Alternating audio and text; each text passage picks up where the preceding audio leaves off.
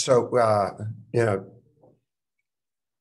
I'm disappointed in our team. You know, we, it's a quick turnaround. We've had two really good games, and we acted like a real young team against uh, a team that's had a lot of.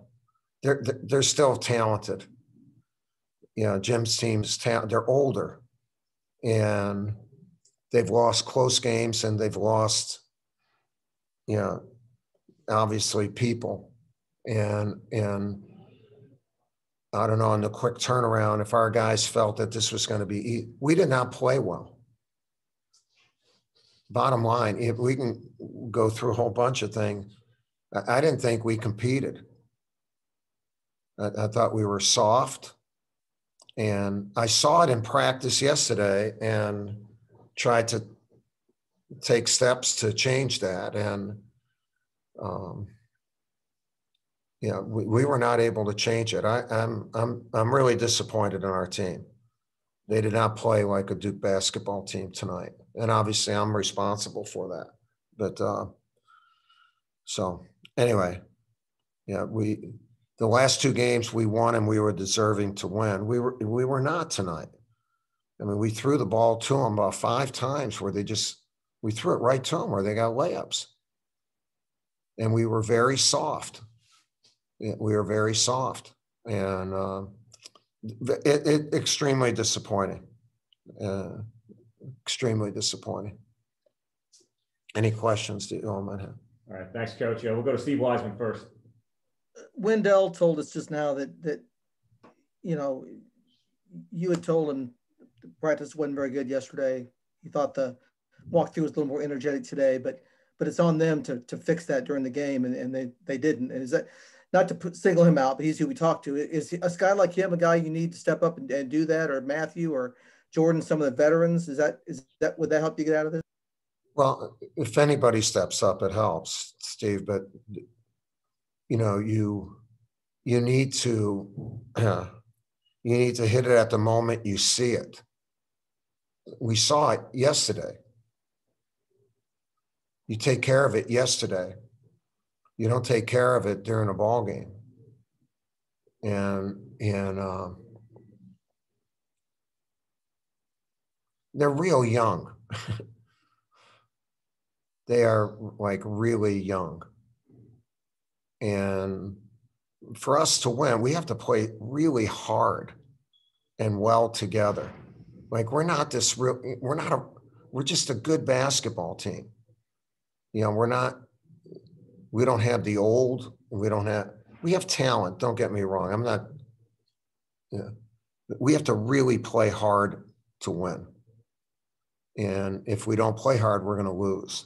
And if we play hard, we still might lose, but we're going to get better and go after it. But we didn't play hard tonight. sad. It really is sad. Uh, coming off those two two games.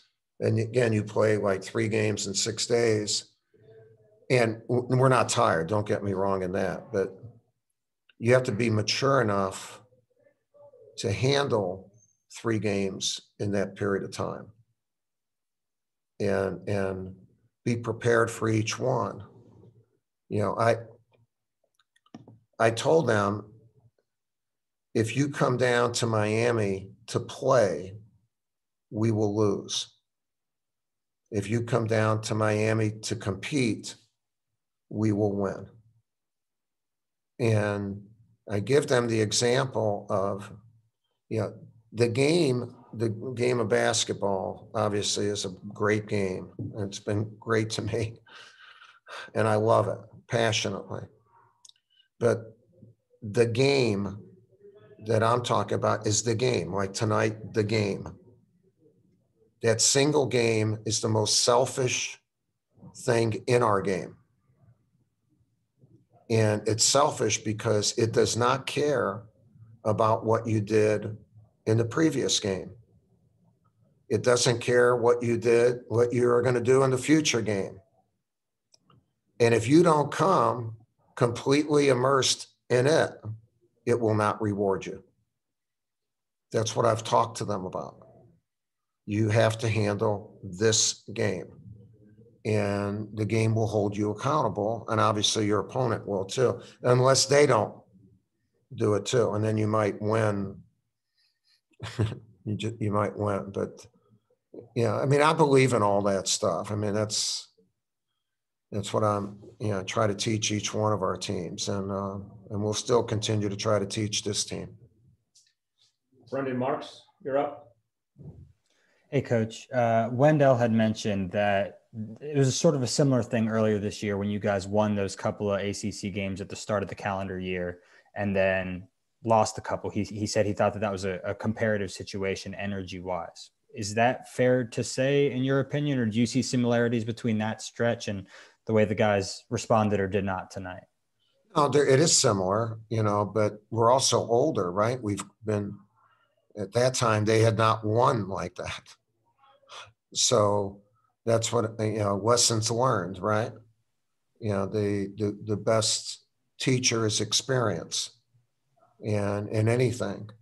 And uh, you have to learn from your experiences. So yeah, we, we brought that up, like, like, don't be happy, you know, be, be hungry.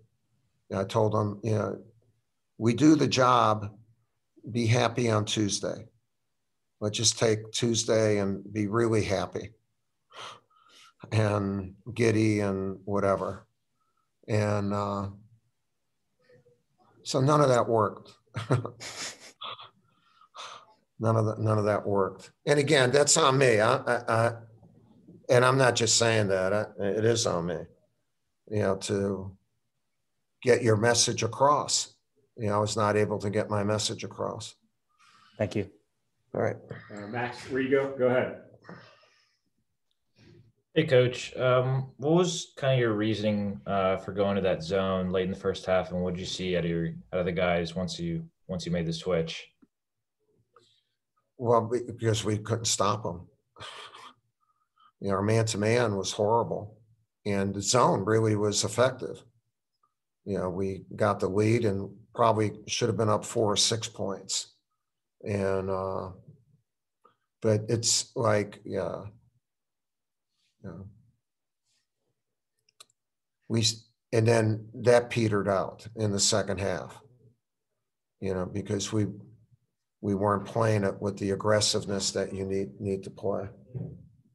Like what, it didn't matter what we played, we didn't play it well. And, um, but the zone helped us for a little bit. Jim Sumner, go ahead. Um, Mike, what was Miami doing offense so effectively that made it so hard for Duke to get big stops when they needed to? They just executed their stuff better, you know, they're good. I mean, they, they, uh, they got older guys. And Wong and McGusty are two of the better players in the league. And uh, they just, Jim, they just, you know, not so much extra. They they beat whatever we were trying to trying to do. And a couple times where you get a one possession lead where you if you are really fighting in this game, you get a stop. We did not get stops. And uh, and then a, a- a couple times just gave them the ball, you know, where they got something free, and you know that helps. Uh, that that helps you. All right, Coach, thank you for your time. All right, Appreciate it. thank you all. Thank you, Coach.